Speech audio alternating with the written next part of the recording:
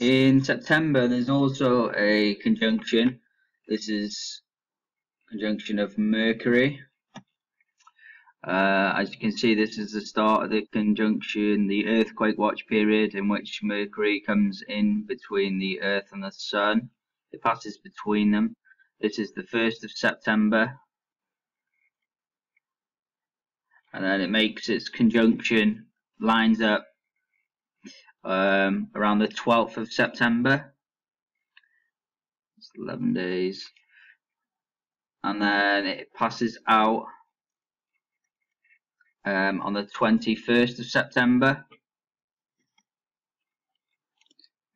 So here we are, 1st of September. Um, there's Earth, Sun, and there's Mercury. And so so it comes through.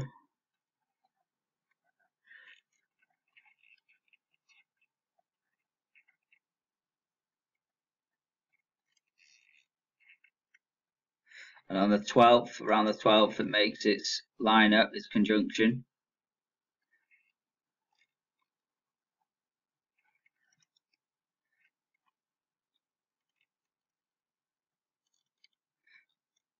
And then comes out 19th, 20, 21st, and it's gone.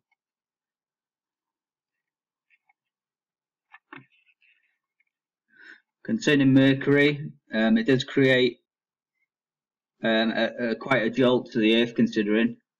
Um, here you have a number of eight, uh, and the Chile one, you know, it was smashing it like eight, up to 18, but that's because of there's a lot of red, red alert earthquakes uh, marked by the UGS so that number was a bit volatile.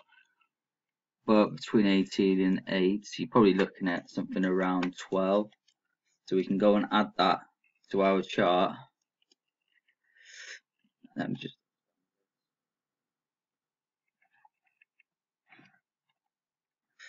so Mercury makes a conjunction on the 12th of September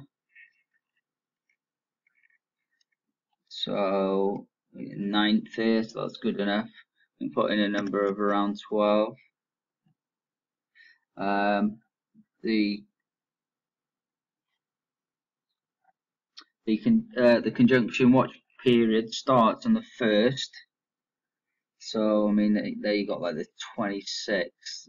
So you could put a minimum number there. Um, and the earthquake watch period finishes on the 21st so yeah that's good enough there. So you're looking at something around there for mercury. Copy that.